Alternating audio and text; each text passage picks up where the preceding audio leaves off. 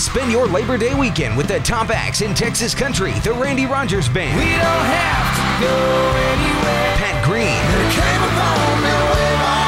The Josh Abbott Band. She's like Texas. And Whiskey Myers.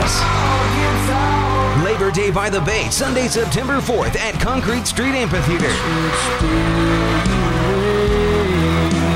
Tickets on sale now at all Ticketmaster outlets. For more info, log on to concretestreet.net.